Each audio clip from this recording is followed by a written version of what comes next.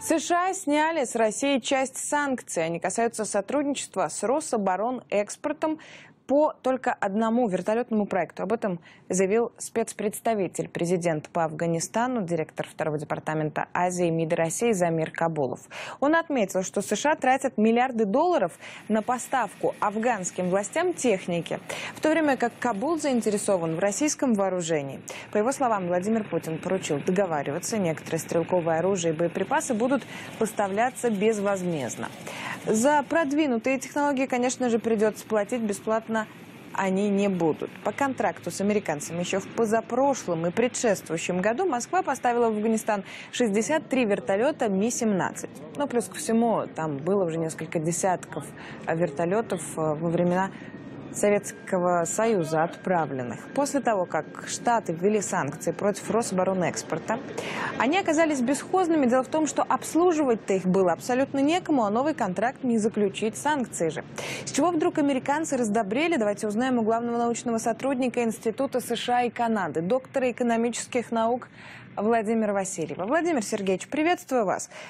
Тоже они вот так вот э, нас сначала вроде бы задавить хотели, а сейчас на попятную пошли. Удивительно.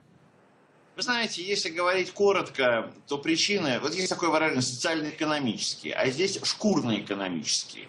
Шкурно-экономические э, интересы состоят в том, что это боевые, это вертолеты, которые используются в военных операциях. Это не прогулочные вертолеты. И от их, в общем, э, успешного функционирования зависит э, жизнь американских военнослужащих.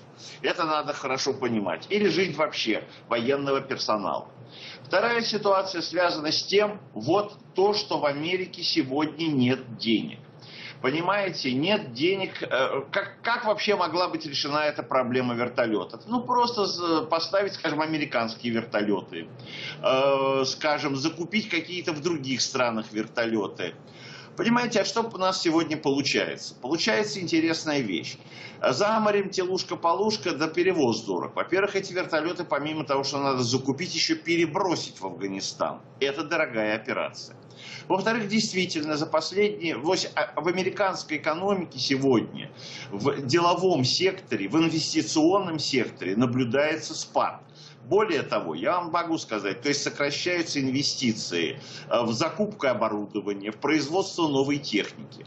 Более того, сокращается в оборонный бюджет Пентагона именно на закупку новой техники. Нет денег. Вот американцы пока об этом как бы помалкивают, молчат. Вообще в этом году происходит замедление темпов роста американской экономики. Она уже, в общем, составляет примерно меньше 1% в год, э, вот в расчете на годовое измерение. И получается, что сейчас американская экономика идет только на потребительских расходах внутри страны.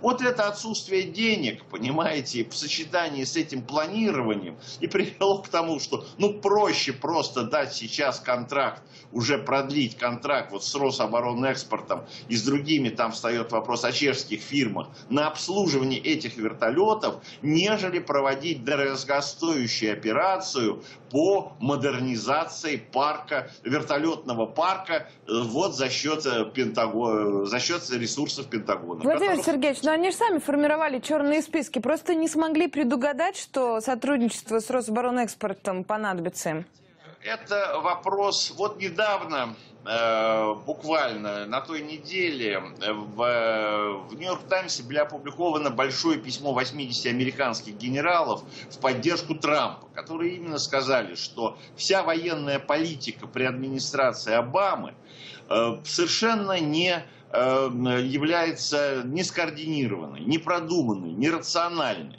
Понимаете, одно ведомство вводит санкции, другое ведомство воюет, нет координации, нет взаимодействия, нет вообще понимания целей. Вот эта ситуация вызывает очень большие, ну вот она и привела, например, к тому, что американские военные, вообще то, как ведутся военные действия, не только в Афганистане, но и в Сирии, в Ираке, на Ближнем Востоке, очень не готовы, э, то есть очень недовольны. Вот этот непрофессионализм идет во всем.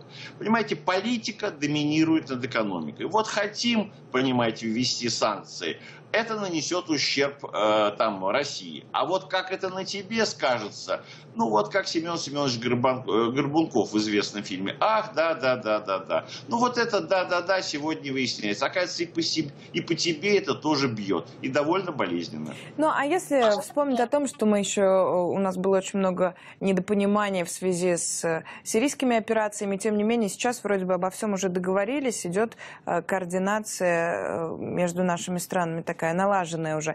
Вот это все совпадение или все-таки действительно началось потепление отношений между нашими странами? Я думаю, что здесь совпадения нет. Эта координация носит, э, понимаете, чуть ли не рассчитана не на неделю.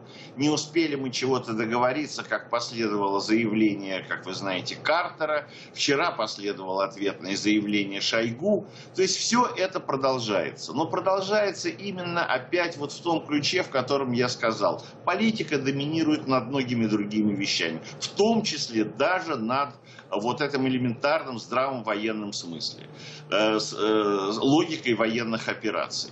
Лично я вообще не очень как бы думаю, что может быть вот эта договоренность, ведь она простая. На 48 часов, потом еще на 5 дней, а потом посмотрим. Ну что это за договоренности, которые на, на неделю э, заключаются? И, и то, для того, чтобы их подготовить, нужно две недели, а для того, чтобы, как говорится, их реали... они будут реализованы еще на неделю. Поэтому здесь надо быть по-прежнему осторожным. Но осторожность это сегодня связано, опять подчеркиваю, с полным хаотичностью, возможно, вот с хаотичностью, которая наблюдается в Вашингтоном в связи с предвыборной кампанией.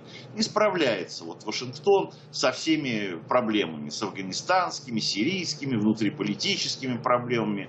Ну вот голова одна, а проблем гораздо больше. Ой, а что будет через два месяца? Подождем, увидим. Спасибо вам большое, Владимир Сергеевич. С нами был кандидат, доктор экономических наук Владимир Васильев.